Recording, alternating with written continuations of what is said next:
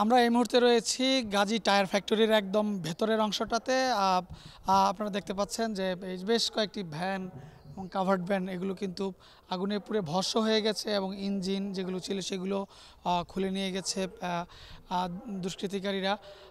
গত রোববার অর্থাৎ পঁচিশ তারিখ রাতে যে আগুনটি লাগে সেই আজ শুক্রবার প্রায় পাঁচ দিন হয়ে গেল। এখনও কিন্তু আমরা দেখতে পাচ্ছি যে মূল যেই ভবন সেই ভবন থেকে এখনও কিন্তু ধোঁয়া বেরোচ্ছে এবং ভেতরে উদ্ধার কাজ চালানোর মতো অবস্থাও নেই। গতকাল বুয়েটের একটি তদন্ত দল তারা এসেছিলেন। তারা এসে পুরো বিল্ডিংটি ভবনটি তারা পরীক্ষা করে দেখেছেন এবং তারা বলছেন যে ভবনটি খুবই ঝুঁকিপূর্ণ এবং আপনারা দেখতে পাচ্ছেন যে যে মানে আগুন এখনও জ্বলছে এবং যে আগুনের যেই তীব্রতা, সেই তীব্রতার কারণে প্রায় তিন দিন ধরে জ্বলার কারণে কিন্তু রডগুলো যেমন বেঁকে গেছে দেওয়ালও খসে খসে পড়ে যাচ্ছে যার কারণে কিন্তু উদ্ধার অভিযানটিও আসলে চালানো সম্ভব হচ্ছে না। আমরা যেমন বাইরে আমরা দেখেছি গেটের বাইরে যে প্রচুর যে স্বজনরা অপেক্ষা করছে তারা বলছেন যে তাদের অনেক স্বজন তারা এখানে আটকে পড়েছেন, তারা খোঁজ চান। কিন্তু ফায়ার সার্ভিস কিংবা সেনাবাহিনী, বিজিবির যারা নিরাপত্তার দায়িত্বে রয়েছেন, তারা বলছেন যে যেহেতু প্রায় পাঁচ দিন হয়ে গেছে এবং যেই আগুনের যে তীব্রতা ছিল যে লেলিহান শিখা এবং যে কেমিক্যালের যেই যে বর্জ্য কিংবা কেমিক্যালের আগুনের কারণে আসলে কারোই এখন বেঁচে থাকার সম্ভাবনা নেই। যার কারণে তারা নতুন করে কেউ ক্যাজুয়ালিটি হোক কিংবা বিপদে পড়ুক, সেই জন্য তারা কিন্তু কোনো দর্শনার্থী কিংবা স্বজনদেরকে কাউকে তারা প্রবেশ করতে দিচ্ছে না। তবে এখনও পর্যন্ত আমরা দেখতে পাচ্ছি যে গাজী গ্রুপ যে যে কোম্পানির প্রতিষ্ঠানের লোকজন রয়েছে, তারা ড্রোন দিয়ে পুরো ভবনটি পরীক্ষা করছেন যে ভেতরে কেউ আটকা পড়েছে কিনা। এবং আপনাকে যদি আমরা ভেতরের ক্ষয়ক্ষতিরও কিছু চিত্র দেখাতে চাই যে কি পরিমাণ ধ্বংসযজ্ঞ চলেছে, এই গাজী যে টায়ার ফ্যাক্টরিটি রয়েছে সেখানে কিন্তু আমরা দেখেছি যেমন প্রচুর পরিমাণে কাভার্ড ভ্যান কিংবা ভ্যান রয়েছে এবং তাদের প্রায় মজুদ ছিল একটি টায়ার ফ্যাক্টরি ছিল। তাদের যে কয়েক কোটি টাকার মালামাল যে মজুদ ছিল, যেগুলো মার্কেটে যাওয়ার অপেক্ষায় ছিল সরবরাহের জন্য সেগুলোও কিন্তু পুড়ে গেছে কিংবা অনেকে লুট করে নিয়ে গেছেন।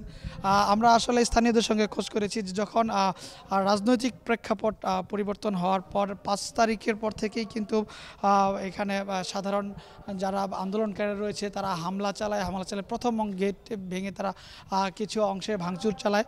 কিন্তু পরবর্তীতে যখন এই যেই ফ্যাক্টরি রয়েছে সেই ফ্যাক্টরির মালিক এবং সাবেক মন্ত্রী গাজী গোলাম দস্তগীর। তিনি আটক হওয়ার খবরে কিন্তু লোকজন আবার রাস্তায় নেমে আসে এবং এই ফ্যাক্টরির ভেতরে ঢুকে তারা তাণ্ডব চালায় এবং সেই ফলশ্রুতিতে বিকেলের দিকেই যখন তাণ্ডব চালায় এবং পরবর্তীতে কে বা কারা সেখানে আগুন লাগিয়ে দেয়, আমরা দায়িত্বশীল যায় দায়িত্বরত যারা রয়েছে, তাদের সঙ্গে কথা বলেছি। তারা কিন্তু বলছেন যে আগুন লাগার ঘটনাটি এখনও তদন্তাধীন রয়েছে, একটি তদন্ত কমিটি হয়েছে এবং কতজন মারা গেছে কিংবা কারা নিখোঁজ রয়েছে সেই সকল বিষয়গুলো পুঙ্খানুপুঙ্খানু তদন্ত করে তারপর তারা কথা বলবেন। এখন পর্যন্ত আসলে ফ্যাক্টরি প্রিয় নাম্বার সেট করে বিকাশে সেন্ড মানি করুন ফ্রি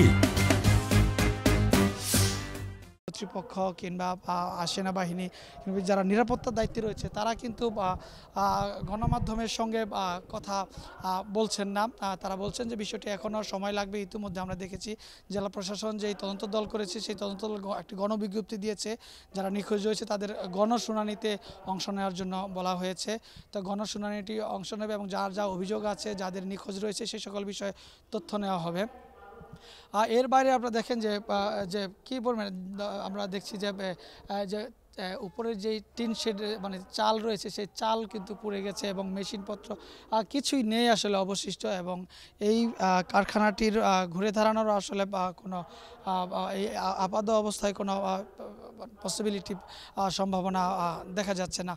তো এখনও পর্যন্ত আহ, মূল যেই ক্যাজুয়ালিটি হচ্ছে অর্থাৎ যে ছয়তলা ভবনটি আমাদের পেছনে আমরা কিছুক্ষণ আগে যেই ছবিটি ছবিটি দেখিয়েছিলাম সেই ছয়তলা ভবনেই অনেক লোক আটকা পড়েছে, এমনটাই কিন্তু স্থানীয়রা এবং যাদের আটকা পড়েছে তাদের স্বজনরাও বলছেন এবং তারা যেহেতু পাঁচ তারিখ থেকে এই ফ্যাক্টরিটি বন্ধ ছিল, কর্তৃপক্ষ এটি নিশ্চিত করেছে যে এই কারখানার ভিতরে তাদের কোনো শ্রমিক ছিল না কয়েকজন নিরাপত্তার দায়িত্বে নিরাপত্তা প্রহরীরা ছিল এবং যখন সাধারণ জনতা যখন এই কারখানাটিতে আক্রমণ করে, তখন তারাও এখান থেকে আসলে বেরিয়ে যায়।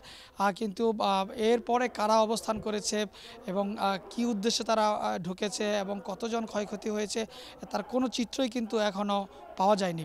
আর যেহেতু একটি কেমিক্যালের, অর্থাৎ টায়ার ফ্যাক্টরি ছিল কেমিক্যালের, যার কারণে দাহ্য দাহ্যতা অনেক বেশি, আশপাশেও ভেড়া যাচ্ছে না। তবে ফায়ার সার্ভিস, সেনাবাহিনী এবং তারা বলছে খুব শীঘ্রই তারা একটি রোড ম্যাপ তৈরি করে বা কোন কৌশলে তারা উদ্ধার অভিযান কিংবা এই পুরো বিষয়টিতে তারা নিয়ন্ত্রণে ক্লিয়ার করবেন, সেই বিষয়টি তারা ভেবে দেখছেন এবং পরবর্তীতে আমাদেরকে জানাবেন। তো এই ছিল আমার কাছে রূপগঞ্জের গাজী টায়ার ফ্যাক্টরি থেকে সর্বশেষ।